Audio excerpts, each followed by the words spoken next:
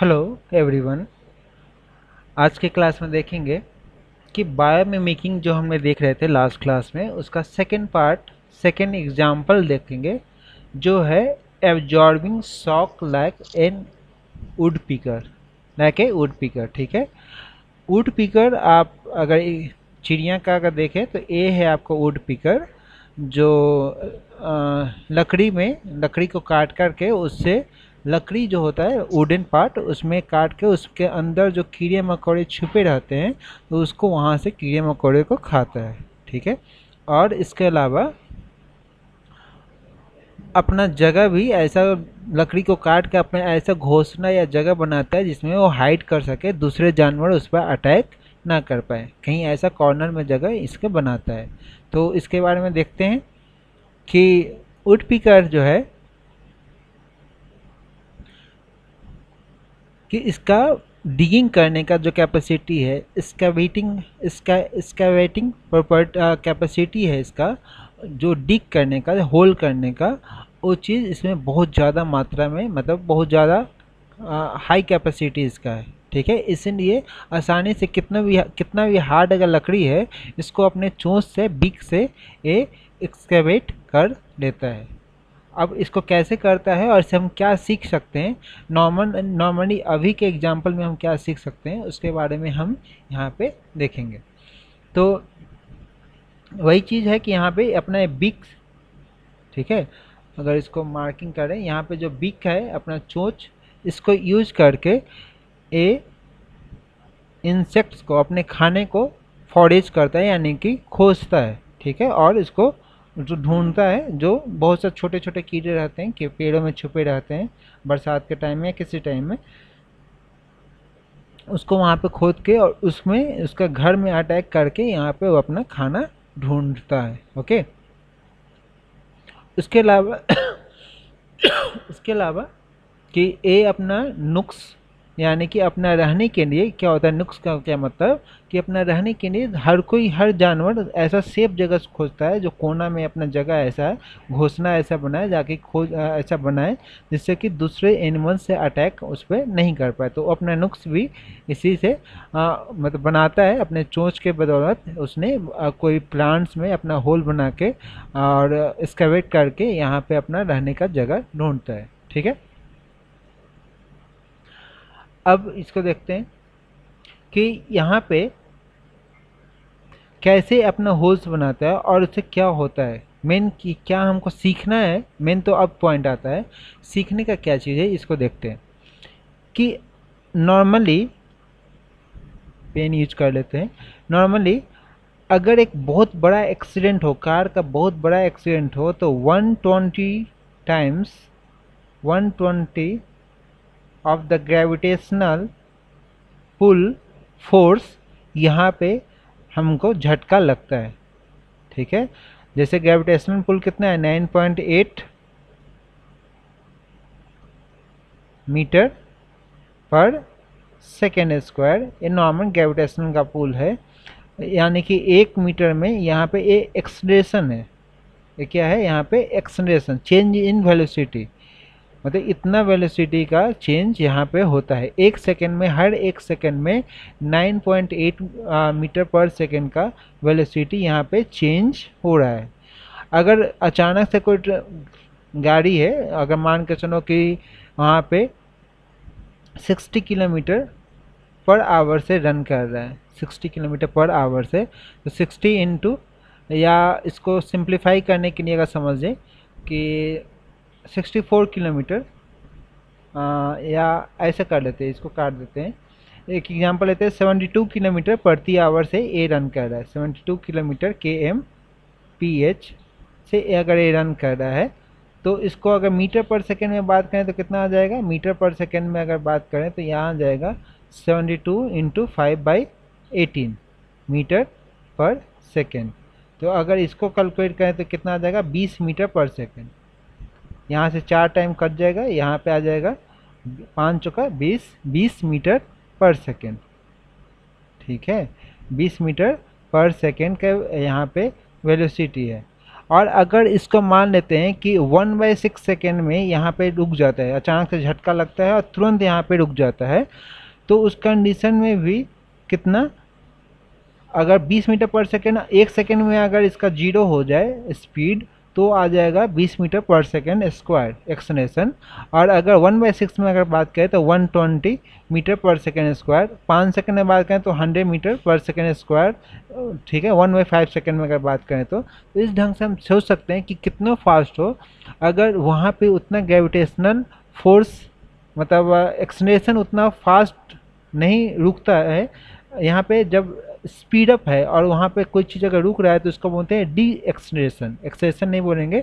तो D acceleration उतना fast नहीं होगा जितना कि एक वुड पिकर का चोंच जो होल करने के लिए उस पर हिट करता है। जितना फास्ट वहाँ पे डिक्सेशन होता है, उतना फास्ट एक बड़ा सा एक्सीडेंट में भी नहीं होता है। ठीक है? तो टोटल इस पॉइंट का अगर बात समझें एक लाइन में कि एक बड़ा सा एक्सीडेंट हो उसमें भी 120 ग्रेविटेशनल फोर्स या उसके अराउंड का डी एक्सलेशन होता है मतलब अचानक वेलोसिटी से ज़ीरो वेलोसिटी आना। अगर उसका 10 गुना टाइम्स एक वुड पिकर अचानक जब वो हीट करता है और हीट करके वहाँ पे रुकता है तो उस टाइम में वो उससे ज़्यादा वो शॉक या जड़ को हैंडल कर सकता है, ठीक है? अब उसको और इतना फास्ट उसका मूवमेंट होता है कि non nearly twenty two times एक सेकेंड में वो हिट करता है, ठीक है? तो इस जड़ को कैसे वो टॉलरेट कर सकता है? अगर इस जड़ को अगर हम समझ लें तो हम इसको यूज़ कर सकते हैं। कहाँ यूज़ कर सकते हैं? इसका एप्लीकेशन समझते हैं। तो अगर आप फ़्लाइट में जो ब्लैक बॉक्स होता है, नाम सुना होगा ब्लैक बॉक्स का? कि ब्लैक बॉक्स वो चीज़ होता है कि अगर कोई पायलट या कोई पायलट जो कम्युनिकेट करता है स्टेशन से तो सब कुछ यहाँ पे रिकॉर्डेड रहता है। या खुद भी अपना बात करता है तो सब कुछ इसमें रिकॉर्डेड रहता है, ताकि अगर किसी एक्सीडेंट होता है तो सब कुछ अगर जल के राख भी हो जाए ब्लैक बॉक्स सेफ़ रहता है। अब इसमें अगर क्या होता है, जब फ़्लाइट का एक्सीडेंट होगा तो कहीं पहाड़ से टकराएगा या कुछ ऐसा तो उसको बहुत तेज़ झटका लगेगा। और अगर नॉर्मल मटेरियल से बना हुआ है तो क्या हो जाएगा, वो टूट के बिखर जाएगा, उसको भी नुकसान हो जाएगा। तो हमको ऐसा चीज़ से बनाना है, जो बहुत ही हाई शॉक अचानक से, अगर शॉक आ रहा है, झटका आ रहा है, उसको टॉयलेट कर सके। मैकेनिकल वहाँ पे फोर्स आ रहा है, उसको यहाँ पे इसको टॉयलेट कर सके। तो अगर इसके डिज़ाइन को वुड पिकर के जो डिज़ाइन है, इस डिज़ाइन को अगर हम कॉपी कर लें इस डिज़ाइन को तो हम क्या कर सकते हैं कि हम इसको डिज़ाइन करने में सक्षम हो जाएँगे।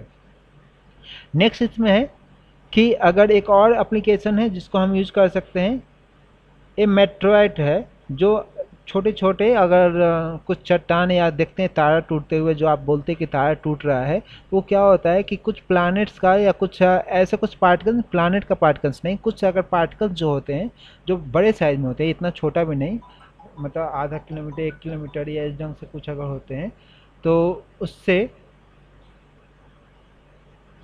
उससे अगर, वो अगर जब धरती में आता है तो उसका क्या होता है कि उसमें वो तो जल जाता है, जो तारा टूटते हुए देखते हैं, लेकिन अगर कहीं वो स्पेस क्राफ्ट से स्पेस अगर कोई स्पेस में है और वहाँ से टकरा रहा है, वहाँ पे जा रहा है, वहाँ पे इसका अगर टकराता है तो इसमें क्या होगा, इसको तोड़ सकता है। नुकसान, अगर स्पेस में है, कोई नुकसान हुआ तो वहाँ पे डैमेज हो जाएगा।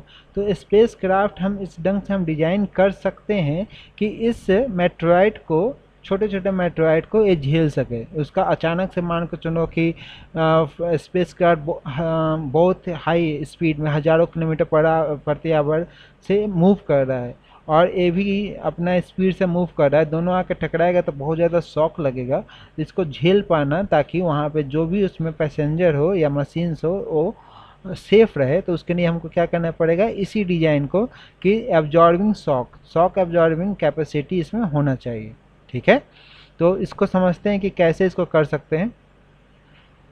तो देखो, इसका डिज़ाइन कैसे है? अगर इसको देखा जाए कि यहाँ से हम सीख सकते हैं कि परपेचुअल यहाँ पे जॉल्ट कैसे टॉयलेट कर सकता है, ये लगातार झटका कैसे टॉयलेट कर सकता है।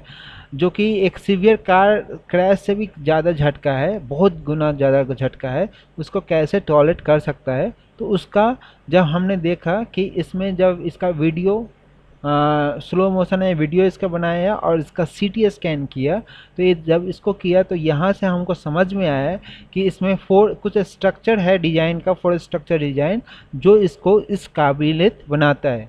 ये जो स्ट्रक्चर डिज़ाइन है, ठीक है, यहाँ पे इसका ए वाला part A part A part दो पार्ट ठीक है, यहाँ पे इसका चोक का आगे का फ्रंट पार्ट और यहाँ पे ए पार्ट उठा हुआ है। ये चारों पार्ट यहाँ पे इसका स्ट्रक्चर को बनाता है। अब इसको समझते हैं कैसे? तो फ़र्स्ट इसमें इसमें कौन कौन सा है? एक सेमी एलास्टिक बीक है। यहाँ पे जो बीक है ठीक है? ये आपका अपर बीक है on the tip of the beak यहाँ पे अगर देखें tip of the beak is push backward ठीक है? बुक बैकवर्ड एंड डाउनवर्ड जो सबसे कोना है यहाँ पे स्ट्रेट नहीं है। ये क्या होगा? यहाँ पे थोड़ा झुक गया है इस ढंग से। बैकवर्ड एंड बॉर्डर ताकि झटका लगे तो सरफेस एरिया यहाँ पे इंक्रीज हो जाए। एकदम नोखीला इस ढंग से नहीं है, इस ढंग से नोखीला बिल्कुल आगे की तरफ़ नहीं है, इस ढंग से ऐसे झुक गया है ताकि सरफेस एरिया यहाँ पे लगे तो यहाँ पे सरफेस एरिया इंक्रीज हो जाए। जो झटका लगे, यहाँ पे पूरा इतना इतना पार्ट पे इंक्रीज हो। तो यहाँ पे ये चीज़ हो जाएगा, एक चीज़। सेकेंड चीज़ है, ठीक है, कि स्पॉन्गी स्पॉन्जी बोन जो मस्कुलर टाइप का बोन होता है material behind the skull skull के पीछे मस्कुलर यहाँ से अगर देखें कि ए पार्ट है स्पॉन्जी पार्ट जो जॉ के पार्ट है ठीक है? तो यहाँ से अगर देखें द मसल द मसल जो बना हुआ है ठीक है जॉ के पास जो जबड़ा है आ, जो हम लोग का भी जबड़ा रहता है तो यहाँ पे जो मसल्स बना हुआ है pushes the back of the jaw forward ठीक है? Back of the jaw forward push करता है and the upper beak shift upward जो अपर वीक है, ये सीधे स्ट्रेट ऐसे नहीं है, ये थोड़ा सा अपवर्ड यहाँ पे कर्व हो गया, ठीक है? यहाँ पे कर्व हो गया इस ढंग से ताकि ये ज़्यादा जड़ को जड़ को यहाँ पे महसूस कर सके। तो इस ढंग से कर्व हो गया, ऊपर की तरफ़ शिफ्ट कर दिया। इसलिए यहाँ पे इम्पैक्ट हीट का जो फास्ट उतना ज़्यादा शौक लगता है, उस ही उसको इम्पैक्ट को टॉयलेट कर पाता है। ये जो स्पॉन्जी पार्ट है मस्कुलर पार्ट ठीक है? ए स्प्रिंग की तरह एक्ट करेगा तो यहाँ पे इसको जड़ मतलब महसूस करने का। एंड द नेक्स्ट थिंग है कि चूँकि इसका भी ब्रेन है, अगर हम अपने सर से हीट करें दीवार में तो हमें बहुत तेज़ लगेगा शॉक और हम पागल हो सकते हैं या मेंटली डिसऑर्डर हो सकते हैं।